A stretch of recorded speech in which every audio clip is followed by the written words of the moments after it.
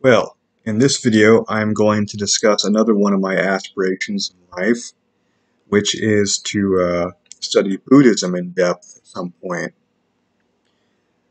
Uh, I have several books in my library that I'm looking at right now that are on the subject, and uh, yeah, just the reason why that is, is because uh, out of all the world's five major religions, Buddhism is the only one that I haven't studied yet.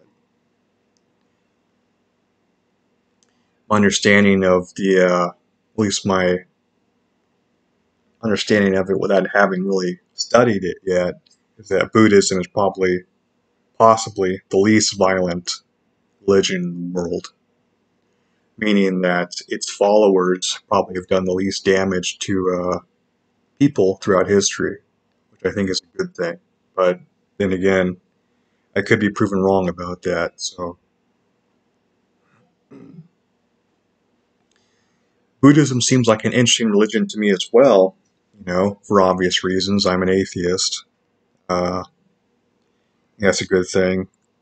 Things about Buddhism I don't like, though, are its supernatural claims. You know, even though Buddhism is an atheistic religion, technically, it still makes supernatural claims uh, regarding uh, karma and reincarnation. So that's kind of why I'm interested in studying it, is to see, well, my perspective, as someone who was raised Christian, it's like I don't, it's hard for me to disentangle God on the one side and then the other things like a, an afterlife and, you know, for lack of a better term, the Buddhist concept of sin, which is karma.